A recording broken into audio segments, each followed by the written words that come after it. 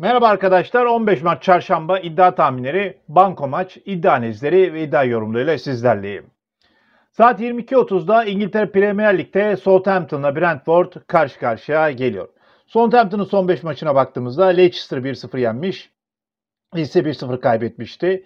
Chelsea 1-0 yenip Wolves'a 2-1, Brentford'a 3-0 mağlup olmuştu.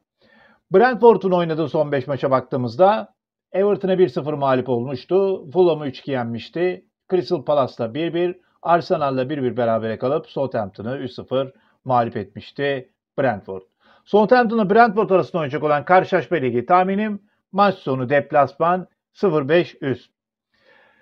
Hırvatistan Ligi'nde saat 19'da Isra ile Dinamo Zagreb karşı karşıya geliyor. Isra'nın son 5 maçına baktığımızda Gorika'ya 5-4, Rijeka 2-0 mağlup olmuş. Sibenik'le golsüz berabere kalmıştı. Osijek'e 1-0 yenip Dinamo Zagreb'e 1-0 mağlup olmuştu Isra.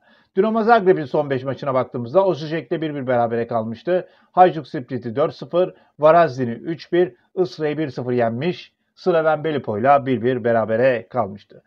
Isra ile Dinamo Zagreb arasında oynayacak olan karşılaşma ile ilgili tahminim maç sonu 1-2 çifte şans. %80 üstü başarı oranı yakaladığım katıl grubumuza beklerim. İzleyip vakit ayırdığınız için çok teşekkür ediyorum. Bol şanslar diliyorum. Kendinize çok iyi bakın. Hoşçakalın.